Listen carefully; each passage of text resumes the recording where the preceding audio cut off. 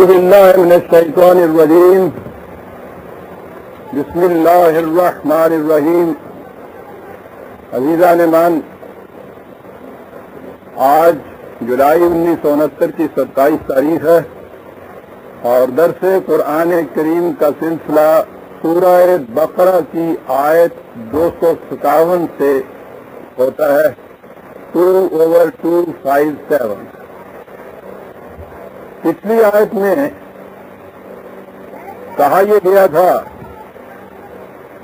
कि फमई यकफुर बिताबूत वयूम इन बिल्ला है फ़कदिस्तम सकबिल उर्वत वुस्का लन से काम लहा।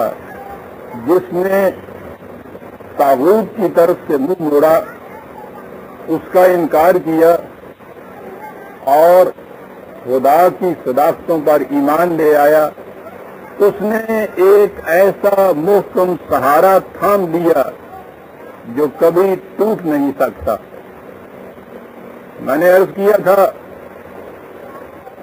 कि मादे के एतबार से ताबूत, हर उस फर्द, उस कौम, उस नज़रिया, उस निज़ाम को कहेंगे जो कवानीन खुदाबंदी से सरकशी बरते। लेकिन लोगत में इसके माने मजहबी पेशवाओं के दिए गए हैं। और बात भी है ठीक।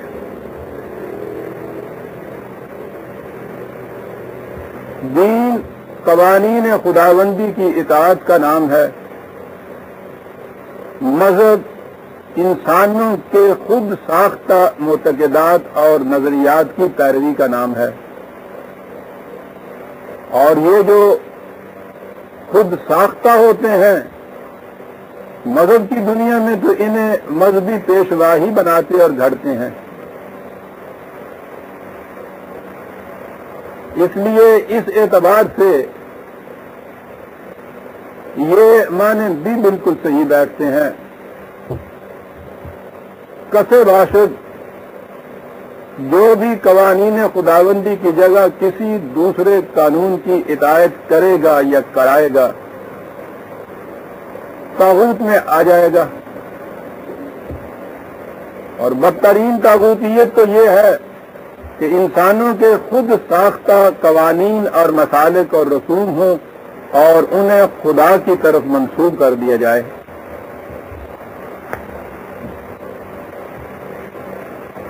किसी चीज़ को अब आया है जेर नज़र में इन अल्फाज में दोहराया गया कि अल्लाह वलीजीना आमनु यूखरे जो हम मिनजुलमात इलनूर वल्लजीना कफरू अलिया ताबूत युखरे जूना नूर इलजुलमात उलाए का सुहाबुन्नार हम फिया खालिदून। बड़ी अजीम आयत।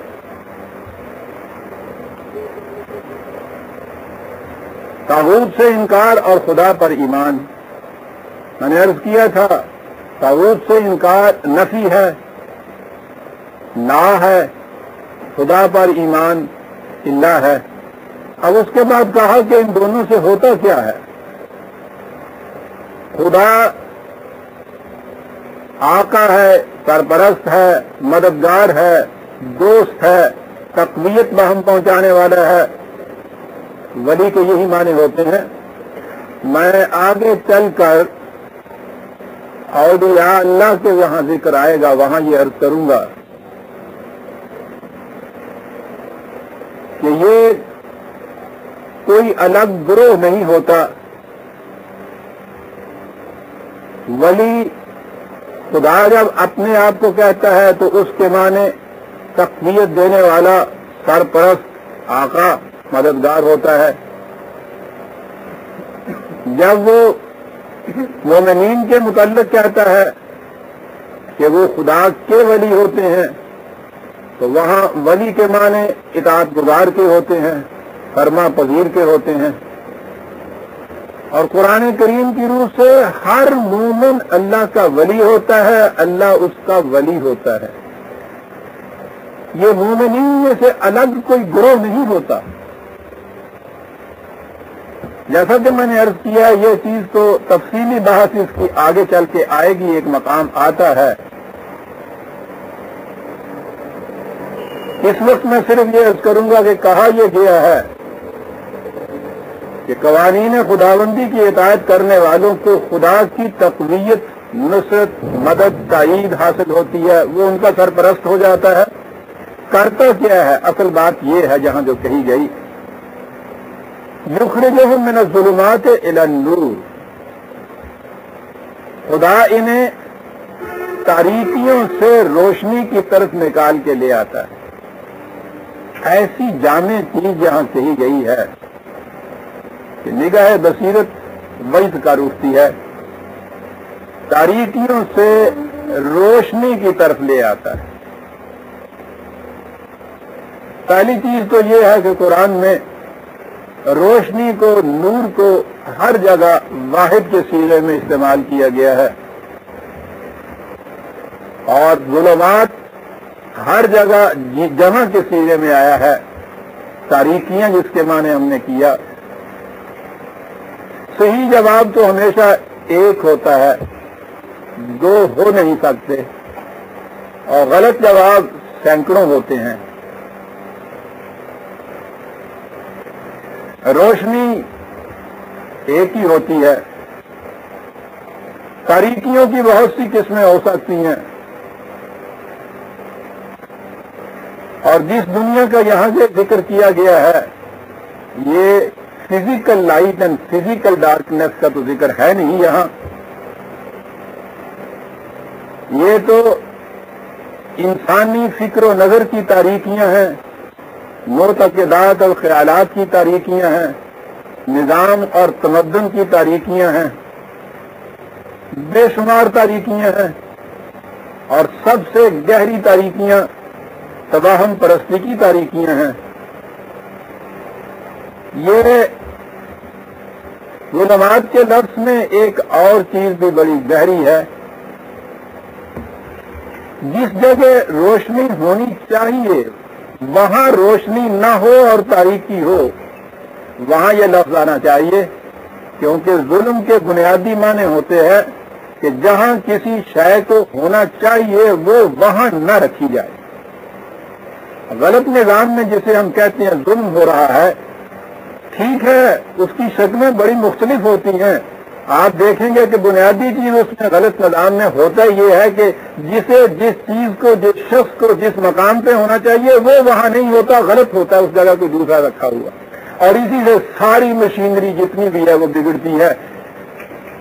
तमदनी ज़िंदगी के अंदर तो चूँकि महसूस तौर पर हम देख नहीं सकते, इसलिए जल्दी से बात समझ में नहीं आती। किसी मशीन के अंदर पुर्जों को एक दफ़ा निकालिए और जब उनको रीअसेंबल कीजिए तो जिस पुर्जे को जहाँ होना चाहिए, उसे वहाँ न रखिए। रख तो दीजिए सारे पुर्जे उसके अंदर। लेकिन कोई पुर्जा उस मुकाम पे ना हो कि जहाँ उसे होना चाहिए, और फिर उसके बाद जो उस मशीन का हशर होगा, वो ज़ाहिर है। वही हशर जो हमारा हशर हो रहा है। जो दुनिया में हर उसका, हर उस कौम का हशर हो रहा है कि जहाँ वो चीज़ वहाँ नहीं, जहाँ रहनी चाहिए, जहाँ रखनी चाहिए। इसलिए जुलमात भी उन तरीकियों को कहा जाता है कि जहाँ रोशनी होनी चाहिए, वहाँ रोशनी ना हो। ये क्या है रोशनी? ये तारीखी पुराने करीम इसके मुतलक बताता है, एक तो इनफरादी तौर पे। और ये वो चीज़ है कि जिसे हम भी आसानी से समझते हैं। जहालत की तारीख की तो हम भी कहते हैं। अकल की रोशनी हम भी कहते हैं। इलम की रोशनी हम भी कहते हैं। पुराने करीम ने इसे दो लफ्जों में बयान कर दिया। वल सिक्स ओवर थर्टी नाइन छह बटा उनतालीस। वल्लजीन कज्जबू बे आयात ना जो लोग हमारे कवानीन को झुटलाते हैं। यहाँ ये तकदीब का लफ्ज भी बड़ा गहरा है। इनकार के माने नहीं है। इनकार नहीं करते। ज़ुबान से इकरार करते हैं। अमलन उसकी तकजीब करते हैं। उसे झुटलाते हैं। जो हमारे कवानीन की तकजीब करते हैं सुमुल व बुकमुल फिजुलमात गुंगे बहरे, अकलो फ़िक्र से काम न लेने वाले। ये हैं तारीखियाँ। याद रखिए, पुराने करीम ने इंसान के लिए सबसे बड़ी खसूसियत जो दी है इसे, वो अकल और फ़िक्र है। इल्म हासिल करने की सलाहियत और इस्तात है। गौर खौज के पास किसी नतीजे पर पहुँचने की इस्तेदाद है। ये बहुत बड़ी चीज़ मैं जरा आगे चलकर करूँगा दूसरी आयत में कि इसके साथ कुछ और भी है। लेकिन बुनियादी खसूसियत जो इंसान को दी गई है हैवानात के ऊपर, वो अक्ल और फ़िक्र है। इससे काम न लेने वाला सुमुन बुकमुन गुंग बहरे फिर जुलमात तारीखियों में रहने वाले। आप देखिएगा, मज़हब की दुनिया में अकल फ़िक्र से काम लेना शजर ममनुआ करार दिया जाता है। वहाँ सवाल ही नहीं होता किसी चीज़ पे खड़े होकर गौर और फ़िक्र करना। जो कुछ होता चला आ रहा है, उसी पे तुम कार बंद रहो। आँखें बंद बंद करके उस पर चलते चले जाओ। न आँखों से देखो, न कानों से कोई बात सुनो, न ज़ुबान से उसके खिलाफ कोई एक लफ्ज कहो। अंधे बहरे गूँगे। कुरान कहता है, ये लोग हैं जो जुलमात में होते तो पहली चीज़ यही है, अक्ल और फ़िक्र से काम न लेने वाले, इन्हें जुलमात में कहा गया है।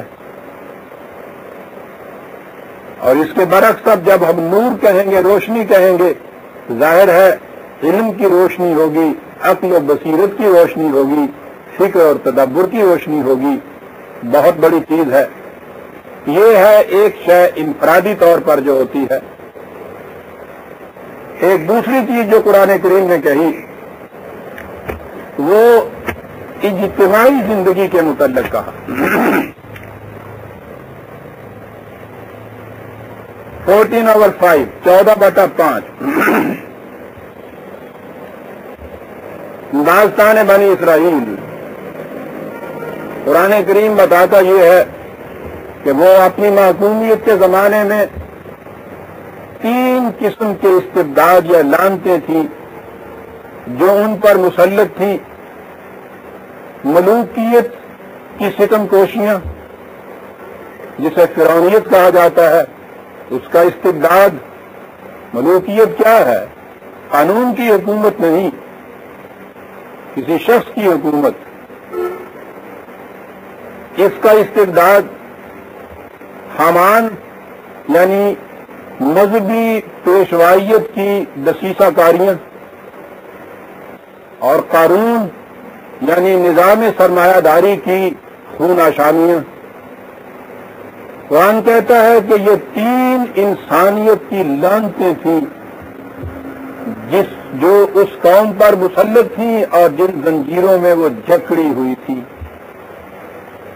हमने साहिब जरब कलीम हज़रत मूसा अलैहिस्सलाम उन्हें भेजा। यहाँ देखिए कुरान, ये अल्फाज यहाँ आए हैं। वलकद अरसलना मूसा बे आयातना, हमने मूसा को अपने कवानीन देकर भेजा, काहे के लिए भेजा? अन आखरिज कौमा का मिना जुलुमात नूर। कहा कि जाओ, अपनी कौम को जुलुमात से निकाल कर नूर की तरफ़ ले आओ। ये सारी तारीखियाँ थी।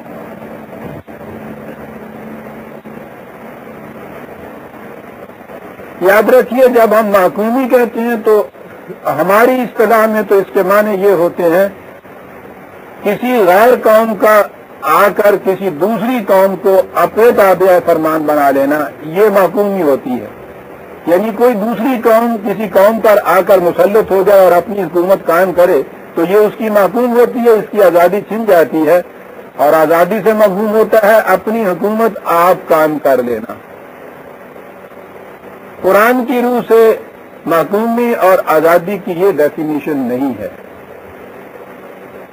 कुरान करीम की रूह से जमात मोमिन के लिए, मुसलमान के लिए माकूमी ये है कि खुदा के कवानीन के अलावा किसी और के कवानीन के ताबे हो जाना। खा वो अपनी कौम के हाथों से क्यों ना हो? यहाँ कौम का सवाल ही नहीं है। और आज़ादी ये है सिर्फ़ खुदा के कवानीन के ताबे ज़िंदगी बसर करना। यहाँ गैर कौम और अपनी कौम का फिर सवाल नहीं है। यहाँ सवाल ये है कि वो कवानीन क्या है, वो निज़ाम क्या है, वो आइन क्या है जिसके मुताबिक तुम ज़िंदगी बसर करते हो? ये नहीं है कि गैर खुदाबंदी आइन कवानीन अपनी कौम के हाथों से अगर नाफिज या मुसलत किए जाए तो आज़ादी कहलाए। और कोई दूसरी कौम आके मुसलत करे तो उसे माकूमी कहा जाए। तो कुरान करीम ने यहाँ कहा कि बनी इसराइल को इन तारीकियों से निकाल कर नूर की तरफ़ ले जाओ। और वहाँ जो सीना की ज़िंदगी है, वहाँ इन्हें इन तीनों लानतों से रस्तगारी मिली। इंसानी इंसानी माकूमियत की जगह खुदा के कवानीन आए, मलूकियत नहीं रही, मजहबी पेशवाइयत, हमानियत नहीं रही। कानूनीत नहीं रही। और इसका नाम कुरान ने नूर करार दिया, रोशनी करार दिया। मैंने अर्ज़ किया था कि नूर इल्म है, अक्ल है, फ़िक्र है, ये है रोशनी। लेकिन तनहा यही काफ़ी नहीं है।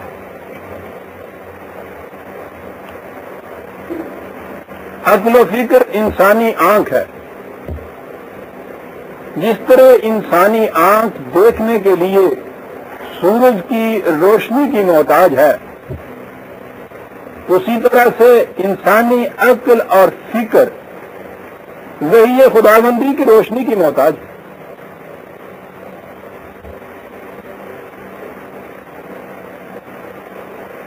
एक फर्द की अक्ल उसे अपने मफाद का तहफ़ सुझाती है, किसी तरीके से हासिल हो जाए।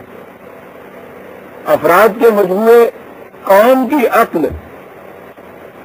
उस कौम के मफाद का तहफ़ सुझाती है, किसी तरीके से हो जाए। और ज़ाहिर है, अपनी कौम का तहफ़ जब यही मकसद ठहरा तो फिर कितनी कौमों के जिसम से खून के आखिरी कतरे तक नचोड़ लिए जाते हैं, ताकि अपनी कौम के अफराद के चेहरे पर अरगवानी रंग छा जाए। अकल तनहा तो ये कहती है वो अपना मफाद सोचती है। दूसरे का मफाद सोच नहीं सकती। लेकिन वही खुदाबंदी। वो उस खुदा की तरफ़ से दिए हुए मैार हैं, कवानीन हैं स्टैंडर्ड हैं, जो रब्बुल आलमीन है। तमाम अकवाम आलम का, तमाम मखलूक का नशो नुमा देने वाला। तो ये फ़र्क है इनफरादी अकल में और खुदा की दी हुई रोशनी में कि ये इनफरादी मफाद का तहफ़ करेगी, वो पूरी इंसानियत के मफाद का तहफ़ करेगी। ये सही रोशनी हुई फिर और ये रोशनी मिलती है खुदा की किताब से, वही की रहनुमाई से। इंसान की आँख की मिसाल जो मैंने अभी पेश की। सूरज की रोशनी ना हो, यानी रोशनी ना हो खारिज में कोई भी, इंसान की आँख बेकार होती। और अगर रोशनी कितनी ज़्यादा क्यों ना हो, आप आँखें बंद कर लें तो रोशनी आपके लिए बेकार होती। इंसानी अक्ल वही की रोशनी, जब ये दोनों इकट्ठी होगी तो फिर आपको सही रास्ता मिल सकेगा। इसीलिए ये जो मैंने अभी आयत तलावत की, सूरह इब्राहिम की आयत पाँच, चौदह बटा पाँच, ये पांचवी आयत है। पहली आयत ये है अलफलाम रा किताब उन अनजलना हो इलय का रसूल, ये किताब, ये वही तेरी तरफ़ हमने नाजल की है। ये तुखरजन नासा में जुलमात इलन नूर। ताकि तू नए इंसानी को तारीकियों से रोशनी की तरफ़ ले आए। किताब इसलिए दी है। और उसके साथ रसूल का फरीजा ये है कि इस किताब की रोशनी में अन्नास को नव इंसानी को तारीकियों से रोशनी की तरफ़ ले आए।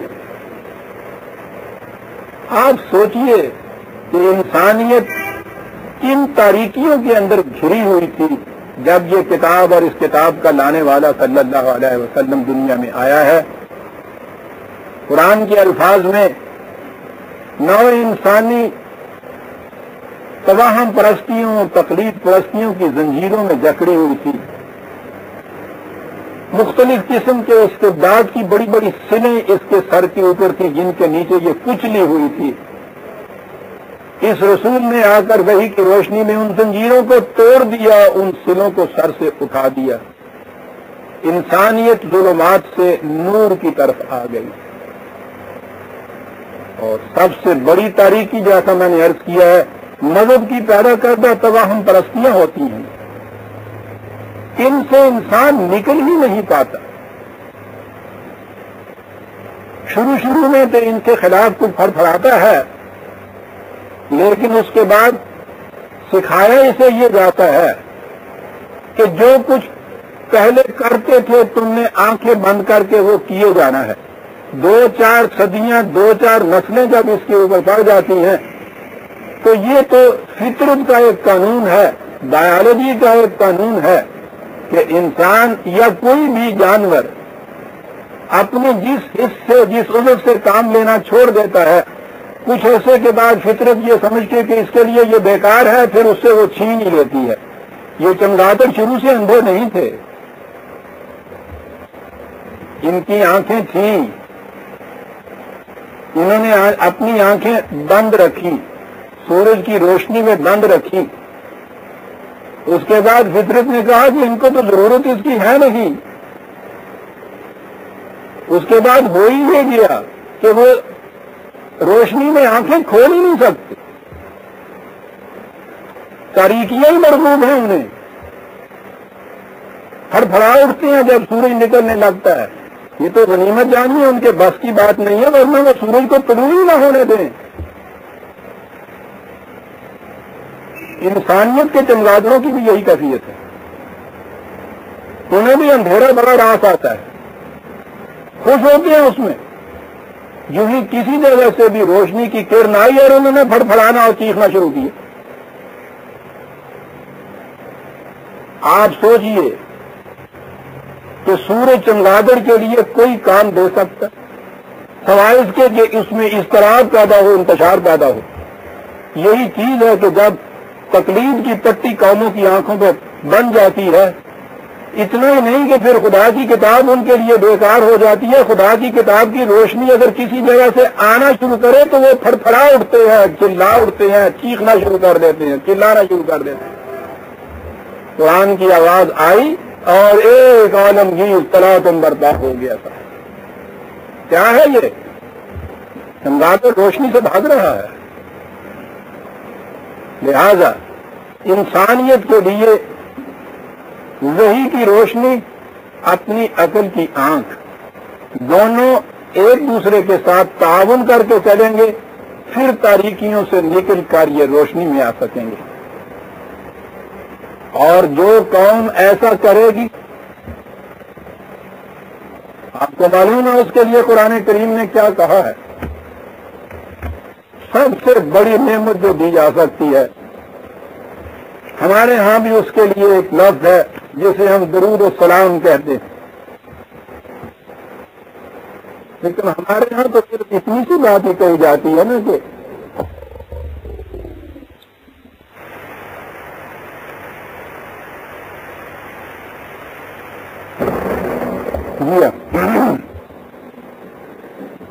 हमारे यहाँ तो कुरान करीम की सिर्फ़ एक ही आयत है, जिसको सामने लाया जाता है।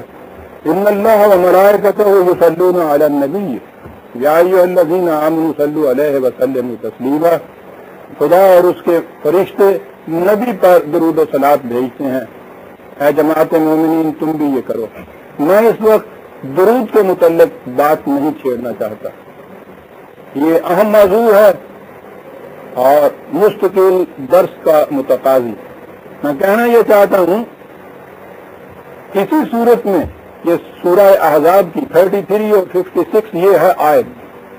यही सूरह आजाब है। और इसी में चंद आयतें पहले, आयत तैतालीस में 43 वहाँ है अल्लाह और उसके फरिश्ते, आम तर्जमा जो किया जाता है, रसूल पर, नबी पर दरूद भेजते हैं।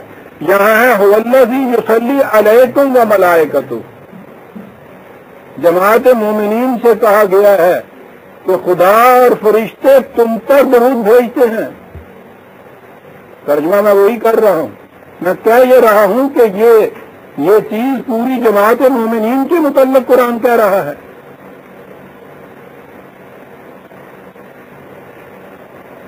जिस कंटेक्स्ट में जिमन में मैं ये बात ला रहा हूँ, उसे आप सुनिए।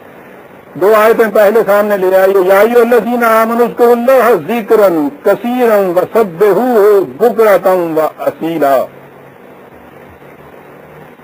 जमात मोमिन कवानीन खुदाबंदी को हर वक्त सामने रखो, नहायत शिद्दत के साथ, जरा सा उनको ओझल न होने दो, और सुबह शाम मदामत से इल्तजामन, इसरारन, तकरारन, दवामन तुम उसके मुतन करदा प्रोग्राम की तकमील में सरगर्म अमल रहो सब बेहू ये कुछ करोगे तो याद रखो, अल्लाह और उसके मलाइका उसके फरिश्ते आम तर्जमे के एतबार से तुम पर दरूद भेजेंगे।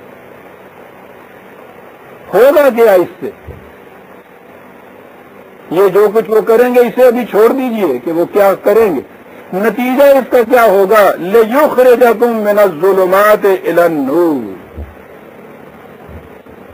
ताकि तुम्हें तारीकियों से निकाल कर रोशनी की तरफ़ ले आए। जमात मोमिनीन का, जिसे ज़िक्र कहा गया है यहाँ, उन तस्वरात को तो छोड़ दीजिए जो हमारे यहाँ मुरवज हैं। ज़िक्र के माने कल पे जरबे लगाना। सब बेहू के माने हुजरे में बैठ के तस्बीह करना। कुरान के माने लीजिए। जिमन बात आ गई बरादरान अज़ीज़। अगर यही चीज़ थी मकसूद,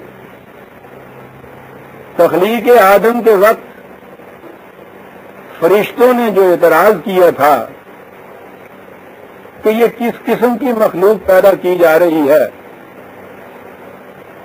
उसके मुकाबले में अपना इस्तेकाक जो था कि हमें हक हासिल है कि ये मकाम हमें मिले, उसने कहा यह था कि वह नाहनो मुसब्बिह बेहमद का व मुकदस लग। ये तस्बीह और तकदीस तो यही है तो उन्होंने कहा था कि इसमें तो हम देखिए, हर वक्त मसरूफ रहते हैं। जवाब मिला था कि हिन्नी आलम माला तालमून। हम जानते हैं जो तुम नहीं जानते। कि ये क्या करेगा? ये ज़ाहिर है कि ये जो नसबियों पे हमदे था, वो मुकदस लग ये तो नहीं कि फरिश्ते जानते नहीं थे, वो तो करते थे ये। तो अगर आदम का भी, इंसान का भी मकसूद इंतहाई ये होता कि वो भी तस्वीरें फेरता रहे तो ये कहना कि तुम नहीं जानते, हम जानते हैं। ये तो बात ही गलत हो जाती है। यही होता है तो वो कहते हैं कि साहब, जान, ना जानना तो एक तरफ़ रहा हम तो करते हैं ये आपने कैसे किया कह दिया क्या? तुम नहीं जानते, हम जानते हैं। नज़र आया कि वो कोई बात इससे अलग थी कि वो करना तो उनका एक तरफ़, वो जानते भी नहीं थे कि इंसान क्या करेगा। इससे अलग कुछ है ना बात?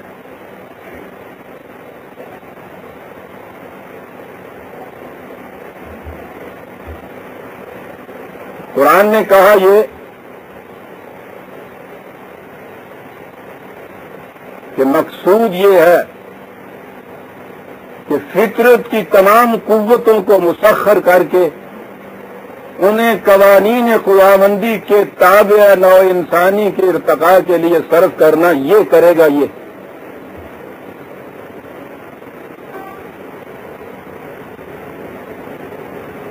और ये वो चीज़ थी जिसके बाद कुरान के अल्फाज में मलाइका झुक गए आदम के सामने। तस्खीर कायनात का मरहल। लेकिन फिर वही बात जो मैंने अगली कही, उस किताब की रोशनी में इन कुतों का सर्फ करना ज़रिए खुदाबंदी के ताबे इन्हें सर्व करना। ये बात हुई तो फिर तकमील हुई। ये नहीं होगा तो उन्होंने ठीक कहा था कि क्या कहना तुम कर रहे हो? जब सुबह फिर लड़ने वजह से कुछ दिमाग, ये तो फसाद बर्पा करेगा खुरेजियाँ करेगा। ठीक है?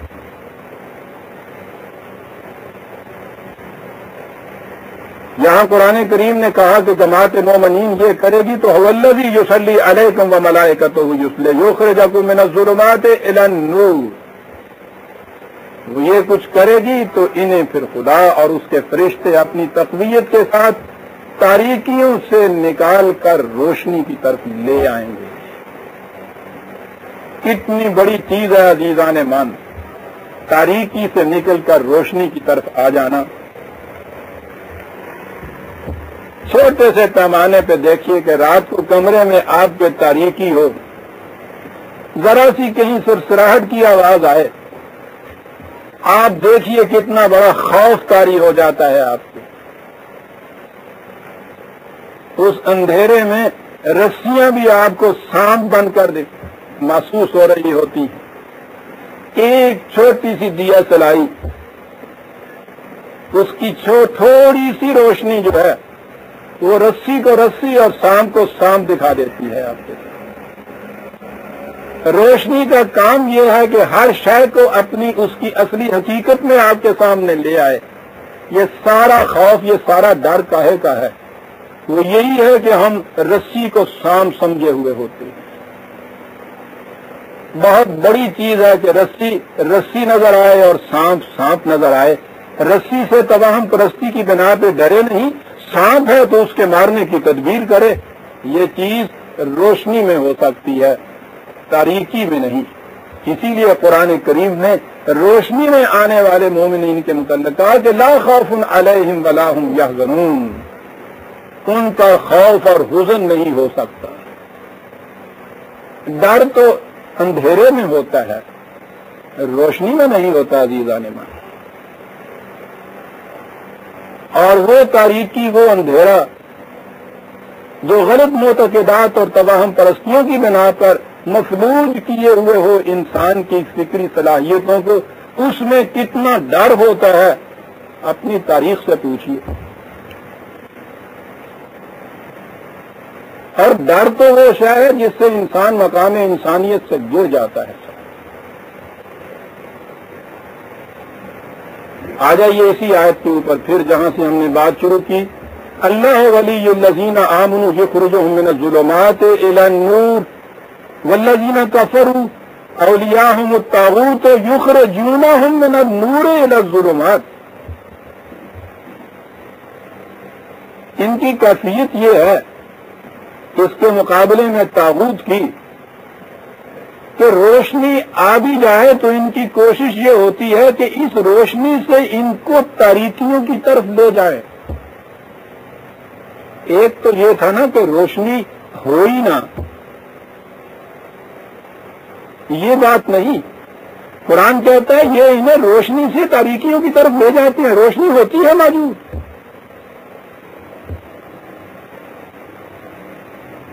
ये रोशनी क्या थी? मैंने अभी अर्ज़ किया कि खुदा की किताब थी। किताब तमत कलमत रब का सिद्ध वादल मुकम्मल शक्ल में दी गई। लामुबद्दल कलमात दी गैर मुतबदल शक्ल में दी गई। नमान नजल में जिक्रा व इन्ना लहू हाफिजून इसकी हिफाजत का जिम्मा खुदा ने लिया। महफूज मुकम्मल गैर मुतबदल किताब क्यामत तक के लिए रहने वाली मौजूद है। तारीखी शहादात मौजूद हैं कि इसमें एक हर्फ की भी तब्दीली नहीं हुई। इतनी बड़ा मंदा रोशनी का इतना बड़ा मौजूद पूरी कौम तारीखियों के अंदर। कौन ले गया इनको तारीखियों के अंदर? ताबूत। युखरी जो हम मेरा जुलूमात मेरा नूर इला जुलूमात। क्या बात कुरान कहते हैं। सारी कुतें इनकी इसमें ये होती हैं कि ये इस रोशनी की तरफ़ ना आने पाए कौन ये अगर रोशनी में आ गई तो सबसे पहले तो ये मुकदसीन का तायफा बेनकाब होकर सामने आ जाएगा कि ये है कितने बड़े दसीकाकार और कर क्या रहे हैं। वो आने नहीं देना चाहते। वो इनको तारीखियों में रखते हैं। अजीब अजीब किस्म के फिर हरबे इस्तेमाल होती हैं। फिर उसके साथ गठजोड़ होता है। कुत का, ताकत का, हुक्मरानों के ग्रोह का, ये दोनों का गठजोड़ फिर आपस में होता है। चलता है ये किस्सा और इसकी कुत क्या होती है? रोटी से मोहताज कर दिया जाता है। देखिए वही फिरौन, हामान और कारून फिर इकट्ठे हो जाते हैं। ये हमान और उसको जुनूद कुरान कहता है। हमान और उसके लश्कर का काम ये होता है कि मस्त रखो, ज़िक्र फ़िक्र, सुबह गाही में इसे। पुख्ता तर कर दो मिजाज खानकाही में ही से। कह दो कि तुम्हारा काम अल्लाह से लाव लगाए रखना है। ये दुनिया के धंधे दुनिया वालों के स्पुर्द कर दो। तुम क्यों खाम खा इसमें मग मारते हो? ठीक है।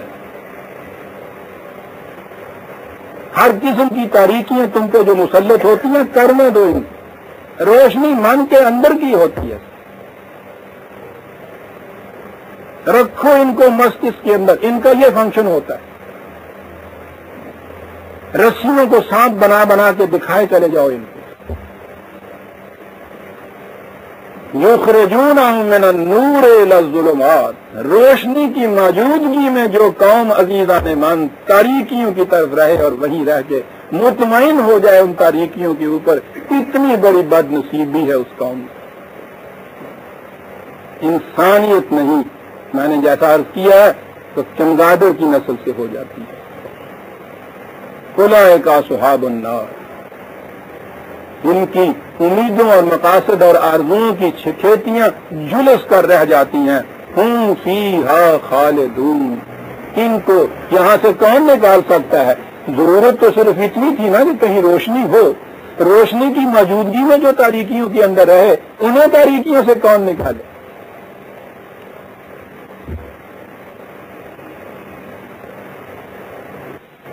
अब कुरान ने फिर अपने अंदाज के मुताबिक तारीख की शहादत को पेश किया। मिलत हनीफा के मुस्से से आला, हज़रत इब्राहिम सलाम बड़े बुलंद मकाम पे फायज हैं। मलूकियत के साथ टकराव हो रहा है। आपको मालूम है कि ये ममलकत के सबसे बड़े उसकुफ आज़म, सबसे बड़े पुरोहित उसके बेटे थे। बहुत बड़ा मनसब, बहुत बड़ा मकाम। सबसे पहले तो घर में बाप से ये चीज़ कही कि आप किन तारीखियों में घिरे हुए हैं? अपने हाथों से एक मूर्ति बनाते हैं। फिर उसके सामने झुकते हैं। कितनी इंसानियत की तजलील है। बात इतनी ही नहीं थी। पुराने करीम ये बताता है कि अम्बिया कराम तो गलत निज़ाम की जगह सही निज़ाम कायम करने के लिए आते हैं। अगर इब्राहिम और आर इब्राहिम के मुतल कुरान ने कहा है कि उन्हें मुल्क अजीम भी हमें दिया था। बात आगे बढ़ी पुरोहितों से, पुजारियों से बादशाह तक पहुँची। उस दौर की शख्सी हुकूमत का बादशाह। अलम तरा हाजा इब्राहिम फ़ी रद्दे ही तुमने उस दास्तान पे गौर किया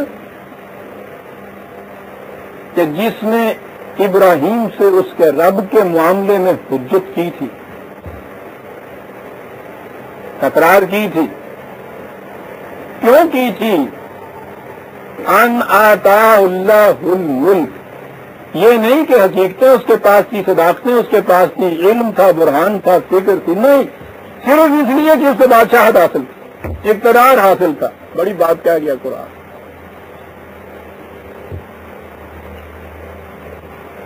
शायद इकतदार तो अजारादार होता है, हर किस्म की अकल का, फरासत का, इल्म का।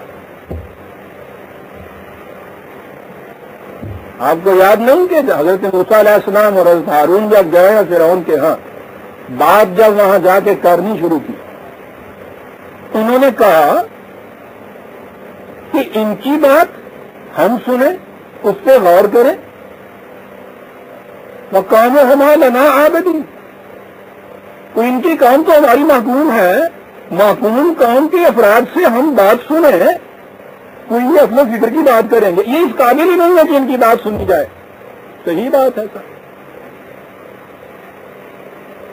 इकतदार का नशा बहुत बड़ा नशा होता है। अन आताउल्लाहुल बात शुरू हुई। इस काला इब्राहिम रब अल्लाजी युही व युमीत। इब्राहिम ने कहा कि सबसे बड़ी चीज़ मौत और हयात है। मेरा रब वो है कि मौत और हयात उसके कानून से वाबस्ता है।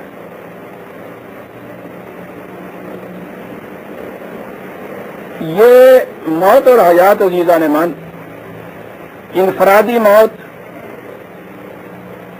इनफरादी ज़िंदगी खुदा के तभी कवानीन के ताबे चलती है।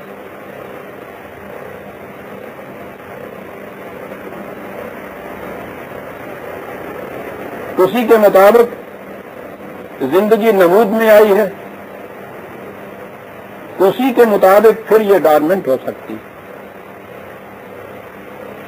हज़रत इब्राहिम अलैहिस्सलाम ने बात ये की जहाँ तक इज्तमाही ज़िंदगी का ताल्लुक है। आप देखिए, जैसे इनफरादी ज़िंदगी के अंदर ये सूरत है कुरान करीम इज्तमाही ज़िंदगी के मुतलक भी बड़ी अजीम चीज़ पेश करता है। तो जो टकराव होता है मक्के में, मदीने में हक और बातिल की जमातों के दरमियान। उस सिलसिले में कुरान कहता है, ले याहने का मन हर का अम बैन तिम याहिया मन हैया अम बैना इसलिए कि हमारा कानून ये है कि जो ज़िंदा रहे, वो भी दलील और बुरहान की बिना पे ज़िंदा रहे। जो तबाह हो, वो भी दलील और बुरहान की बिना पे तबाह हो। हमारे यहाँ धांधली नहीं है कि इसे तबाह कर दो, इसे ज़िंदगी अदा कर दो। अला दइए ना। उसके लिए वाजिया कवानीन है। दलील की बिना पे ये हो सकता है। ये इस काबिल है कि ये ज़िंदा रहे। ये कौन इस काबिल नहीं कि ये ज़िंदा रह सके। एट ओवर फोर्टी टू, आठ बटा बयालीस। अला बैना तो हज़रत इब्राहिम अलैहिस्सलाम ने तो ये बात करी थी। कहीं ना का फैसला इस तरह से होता है। लेकिन एक मुस्तबद मुतलकुल अनान, आमिर, हाकिम। वो ये बात कैसे सुन सकता था? काले आना हो व उम्मीद। उसने कहा कि नहीं, हमारे हाथ में मौत और ज़िंदगी। हम जिसे चाहे ज़िंदा छोड़ दें, जिसे चाहे मार दें। और फिर जो कहा जाता है कि एक शख्स जिसपे सजा के तौर पर मौत का फतला सादर हो चुका था, फांसी का हुक्म हो गया था उसे कह दिया, छोड़ दो। एक बेगुनाह शख्स जो था, उसे कह दिया, तलवार मार के मार दो।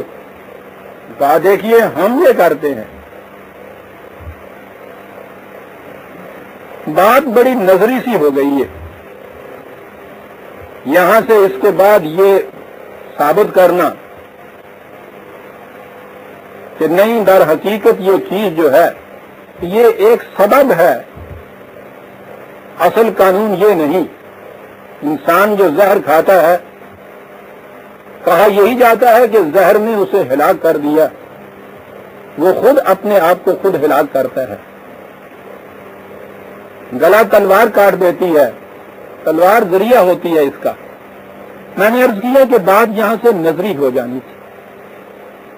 रसूल का, नबी का तरीक जो होता है, मनाजरे या मुबाहसे का या जलाल का, वो ये नहीं होता। वो जब ये देखता है कि ये कट हुजरी करता है तो वो उस मैदान में आगे नहीं जाता। इसलिए कि उसका मकसद कोई मुबासे में फतह या कामयाबी हासिल करना तो नहीं होता। उसके सामने तो हकायक को पेश करना होता है। अगर वो कट हुजतियों पे उतर आता है तो ये अपना वक्त जाया नहीं करता उस पर तवानाई जाया नहीं करता उस पर वो फ़ौरन दूसरा रुख लेता है, एक और चीज़ सामने पेश कर देता है, जिसके मुतलक वो देखता है कि महसूस चीज़ है और इसका जवाब इससे बन नहीं पड़ेगा। हमारे यहाँ के किसी फलसफी के सामने यही बात आती और वो ये जवाब देता, या हमारे यहाँ के मज़हब परस्त मुनाजर के सामने ये बात कहीं आती तो आप फिर देखते सारी रात मनाजरे में गुजर जाती। और अंजाम उसका मुँह से झाग टूट रही है, आँखों से अंगारे निकल रहे हैं, माथे पे ज़फ़र के नक्शे बन रहे हैं आधा पाई तक भी नौबत आ जाती। और यही वजह है कि किसी मुनाजरे ने किसी मबासे में कभी कोई चीज़ फैसले तक पहुँची नहीं। अंदाज ये होता है कि के मुकाबल को किसी तरह से ला दिया जाए, नीचा दिखा दिया जाए ये बात नहीं होती कि ये कहा कि हद कर दिया जाए कि बात सदाकत की इसकी समझ पे आ जाए। पुराने करीम ने दूसरे मकाम पे उसको बड़ी, बड़े हसीन अंदाज में बात बयान की है। अगर मूसा अलैहिस्सलाम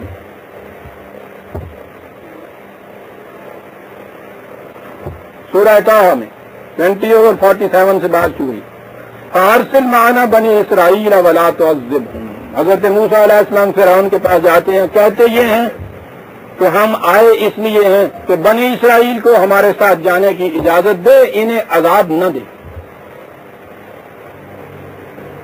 सवाल बड़ा डेफिनेट जवाब बन नहीं पड़ता। बाहर नज़र आता है कि तुम्हारा क्या बिगड़ता है कि आबादी का एक हिस्सा यहाँ से निकल के दूसरी जगह चला जाना चाहता है, तुम्हारा कुछ नहीं ले जाना चाहता। तुम ये पाबंदी आयद कर दो कि वो अपने साथ माल दौलत नहीं ले जाएँगे, जायदाद नहीं ले जाएँगे। बहुत अच्छा इनको तो जाने दो। लेकिन ये तो ज़ाहिर है कि अगर हाकिम माकूम को जाने दे तो हुकूमत किस पे करे? माकूम के बगैर तो हुकूमत हो ही नहीं सकती। वो तो वो जो उसकी, उसको एक लज्जत मिलती है हुकूमत के अंदर, उसकी खातर ज़रूरी है कि एक माकूम कौम, एक माकूम ग्रोह मौजूद रहे हर वक्त। हवस इकतदार की तस्कीन के लिए जाने कैसे थे लेकिन वो बात ये तो नहीं करना चाहता। था तो मैं इनको इसलिए बांधे हुए रखता हूँ कि मेरे इकतदार की हवस की लजत मुझे मिलती रही ये कहना नहीं चाहता था। ज, ज, कोई दूसरी दलील पास नहीं थी। कुरान कहता है कि फिरौन ने एक तदबीर सोची। कहा मूसा ये बात को छोड़ो। काला फमा बादल करून मूसा ये बात बताओ। कि हमारे बड़े और ये जो अहले दरबार मेरे बड़े बड़े बैठे हैं, इनके जो असलाफ और बुज़ुर्ग हैं, वो किस हालत में है? जहन्नम में है या जन्नत में है? चल। बात बड़ी साहब देखा आपने